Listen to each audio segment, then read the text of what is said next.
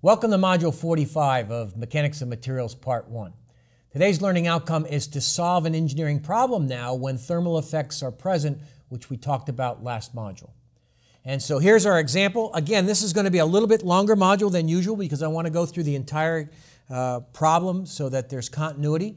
Uh, now I have a bar BC, which is aluminum, cross-sectional area of 2,000, modulus of elasticity of 70 gigapascals, and the yield stress, again, of 0.28 gigapascals. But now I'm given a coefficient of thermal expansion for aluminum as shown, 22.5 times 10 to the minus 6 per degree Celsius. The bar DE is going to be made out of brass. It's got a cross-sectional area of 1300 and a modulus of elasticity of 100 GPa and a, a, a yield stress of 0.1 GPa. And I give you again the coefficient of thermal expansion for brass, which is 17.6 times 10 to the minus 6 uh, degrees Celsius.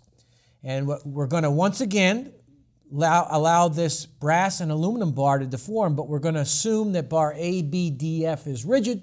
The weight of the bars will be neglected because they're much less than the forces that the bars are supporting. And I want to determine the axial stress in the aluminum and brass bars when the temperature decreases by 30 degrees.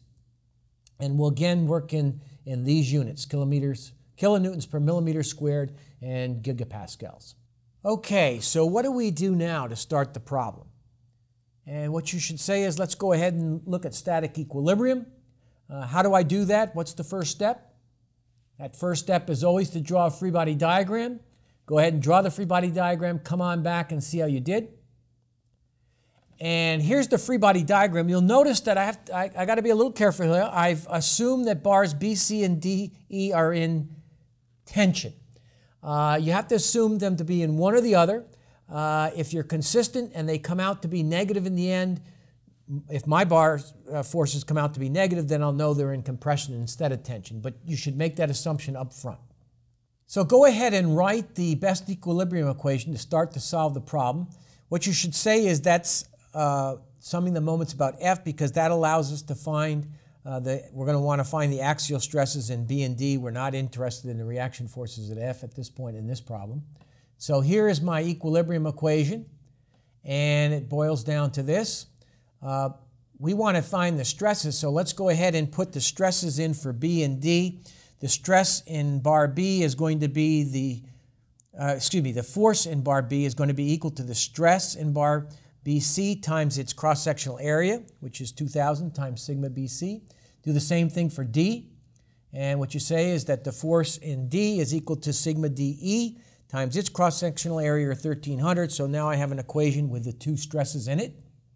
And this is shown here. We'll call that equation star. And so we have one equation and two unknowns. Um, those are my unknowns. That's what I want to solve for. So my question is, what do we do now? And what you should say is we're going to need an additional equation. What additional equation can we write? Well, we can write a deformation equation or a compatibility equation again. And so we're going to assume, as we did before, small deformations and small angles. This is my bar in its original position. This is in the deflected shape. This is the deflection total at D. This is the deflection Okay, so for the deflection total at D, I assume that this member was in tension. That means it shrank quite a bit due to the temperature change, so much so that I had to pull it back in tension with a normal force to have it end up being uh, uh, at the total deformation at D shown here. I'd like you to do the same thing for the deformation at bar B.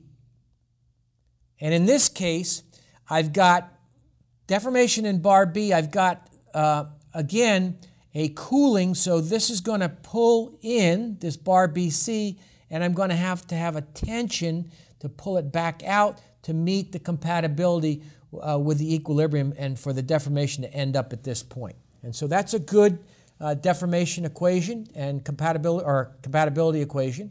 I can use similar triangles again to find out the relationship between the total deformation at B and the total deformation at D. That's the relationship I get. Um, so there's my equilibrium equation. uh, star or asterisk. There's my deformation equation. And let's go ahead and now put in the parts of the deformation due to the temperature change and due to the normal force. And so the force thermal displacement relationship is 1.5 times for dT total. That's the deformation due to the temperature change minus the deformation due to the normal force at D. Uh, on the other side, we have the deformation of B total is equal to minus the deformation due to temperature plus the deformation uh, due to the normal force. And I can substitute now in my values for my, my deformation for temperature change, which is the strain due to temperature change times the length, and the deformation due to the normal force, which was PLL over AE. On this side, I have uh, uh for the bar DE. On the right-hand side, I have for the bar BC. Again, I can reduce this. I see that P over A for bar DD is the uh, stress in bar DE. Similarly, the P over A for bar BC is the stress in bar BC. And so I can calculate this out and I get another equation now, which we're going to call equation double star or double asterisk, that is a expression for the axial stresses in the um, aluminum and the brass bars.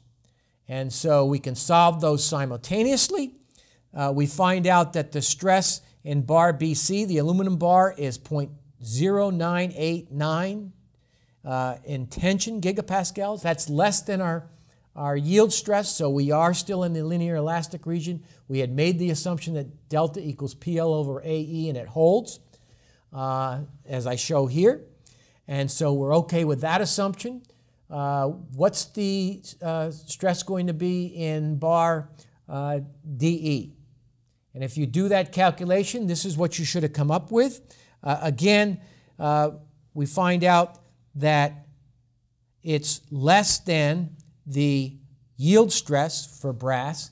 And so our assumptions hold, and this is the uh, stress in the aluminum, excuse me, in the brass bar. And so we've gone ahead and completed the problem. Uh, again, a very good typical problem having to do with uh, coefficients of thermal expansion and what the thermal effects are on a system like this. And um, we'll go ahead and wrap up the course next module.